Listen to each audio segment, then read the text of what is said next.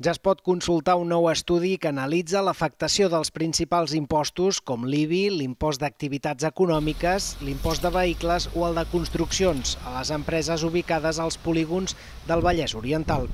Es tracta d'un primer pas per treballar la fiscalitat municipal que afecta la indústria.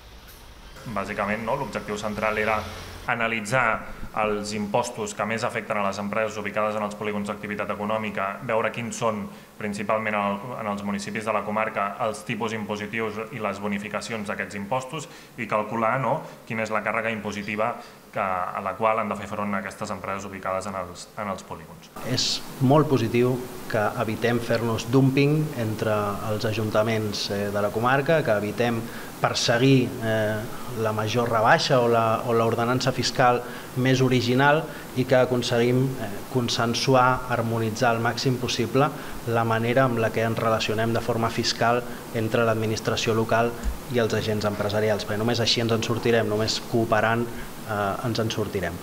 Un informe que no només ha de servir als ajuntaments, sinó també a les empreses per conèixer la comarca i així poder invertir.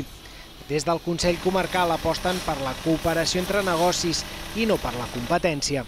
Cal planificar bé el desenvolupament econòmic i l'activitat econòmica al territori i aquí els ajuntaments hem de jugar un paper fonamental.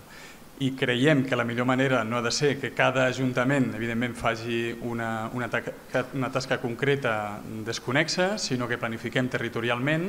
Per això saludem aquesta estratègia que ha impulsat el Consell Comarcal com a agrupació de, de municipis.